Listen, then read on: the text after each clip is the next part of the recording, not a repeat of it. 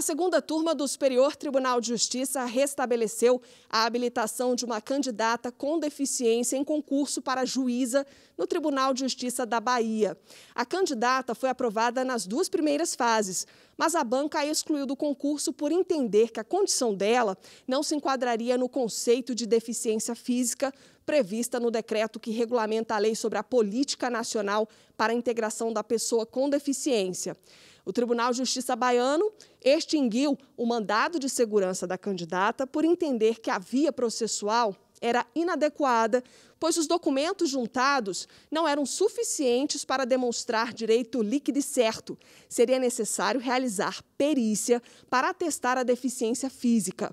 No STJ, o relator do recurso ordinário, ministro Herman Benjamin, explicou que, de fato, o mandado de segurança não é o adequado para discutir a decisão da banca sobre a existência ou não da deficiência.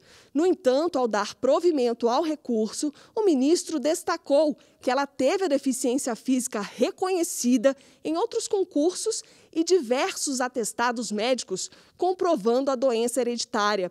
Por unanimidade, os ministros seguiram o voto do relator e reconheceram a ilegalidade do ato administrativo que havia excluído a candidata, restabelecendo a habilitação e classificação dela na cota reservada a pessoas com deficiência.